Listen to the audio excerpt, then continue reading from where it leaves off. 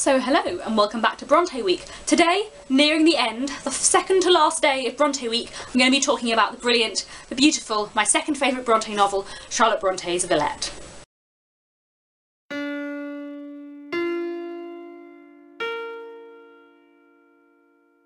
Chapter 1 Bretton my godmother lived in a handsome house in the clean and ancient town of Bretton. Her husband's family had been residents there for generations and bore indeed the name of their birthplace, Bretton of Bretton. Whether by coincidence or because some remote ancestor had a personage of sufficient importance to leave his name to his neighbourhood, I know not. When I was a girl, I went to Bretton about twice a year, and well I liked the visit. Oh, this book, this book. Where do I even, how do I even describe the glory of this gorgeous, incredible, beautiful, brilliant book?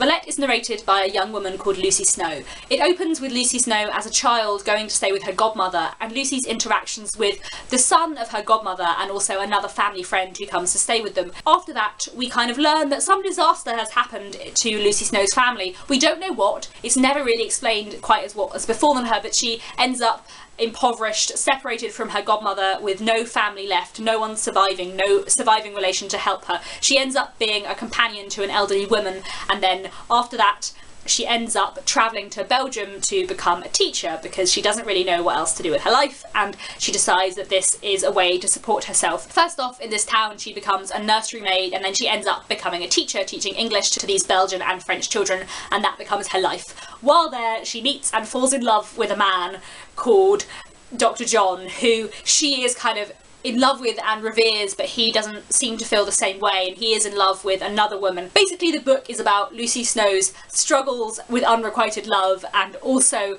her like internal psychology and a lot of other stuff going on, and also about her kind of making her way as a teacher and her independence. I love Villette so much. Like, I love it more than Jane Eyre, and when I first read it, I was staggered because I didn't think there would be a book of Charlotte Bronte's that I would love more than Jane Eyre. But Villette, for me, is is like the pinnacle of, of Charlotte Bronte. Like, it takes the themes that are beginning to be explored in The Professor and develops them so much, and it takes a lot of the kind of proto-feminist issues at the heart of Jane Eyre and really expands them and does a lot more with them.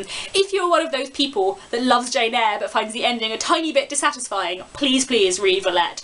It is so good. I love the character of Lucy Snowe. I think she is fascinating. She is a bit like Jane Eyre in some respects in that she's kind of self-denying and troubled and lonely, but also very kind of perseverant and strong. Her kind of internal psychology is just examined so brilliantly. There is this bit in the book when in the school holidays Lucy Snowe has nothing to do, she doesn't have children to teach, and she basically kind of cycles into depression. I mean, yeah, what is being described here in a Victorian novel is depression. And Charlotte Bronte describes it in the most brilliant like effective way. Like it's fascinating to read a Victorian description of what basically is depression. And the way that Lucy Snowe kind of deals with this and the way that Charlotte Bronte examines this issue is done so so brilliantly. The whole of Lucy Snowe's psychology and the way her mind is examined is so good because she is lonely and she struggles but she carries on. And the way that is explored is just just brilliant. I think Lucy Snowe's personality is done very, very well and is always very effective and I love her as a character. And there's a lot of stuff in the book about identity and the self,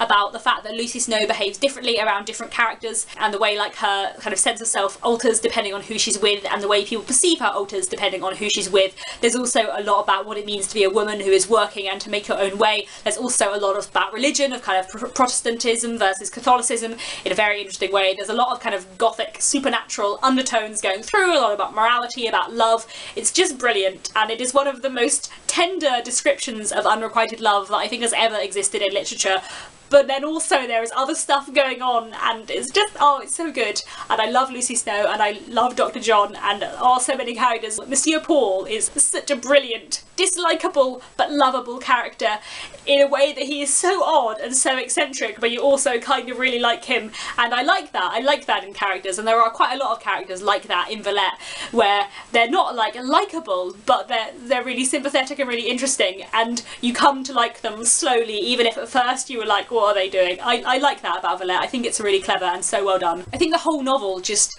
works together so brilliantly and the, ex the examination of this society, this small town and how things operate, the examination of the school and what it's like to be a stranger in a foreign place is just done so well. Like I said, a lot of the themes that are brought up in The Professor of hard work and alienation and being in a new place that you haven't been before are really explored so well. A lot of stuff about gender as well, a lot of stuff about confidence and and self and just so much, so much goodness in Villette. So much wondrous, brilliant, brilliant stuff. It's also unpredictable, and this may sound like an odd thing to say, but with a lot of Victorian novels, I can predict certain things, or the love story feels kind of predictable from the start, but Villette is absolutely not like that. There are certain aspects of the plot that kind of creep up on you and you don't notice, and there are certain things that you don't see the significance of until later. It's very kind of unpredictable, but feels realistic in a brilliant, brilliant way, which I love. Lucy Snowe is also a slightly unreliable narrator, which is quite fun. She occasionally keeps a few things back from the reader,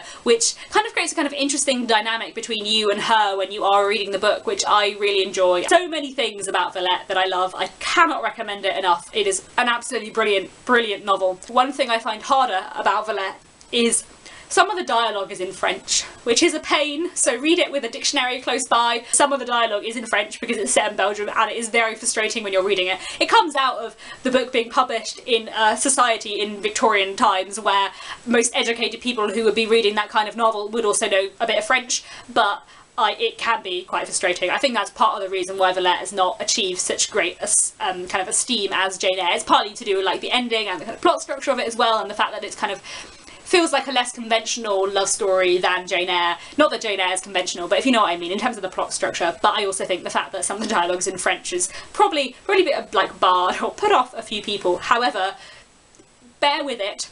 Get a dictionary, and it is so rewarding because it is such a brilliant book. It is so good. That is all I have to say. I will see you tomorrow when I'll be talking about my favourite Bronte novel. I'm sure you have all guessed by now what it is.